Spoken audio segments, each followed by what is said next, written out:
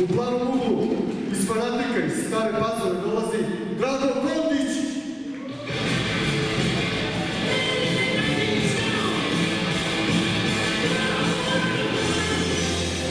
Momak u crvenom uglu imao je do sad 16 pobjeda, iz kojih je ostvario 9 pobjeda uz jedan futbolskim žargonom X.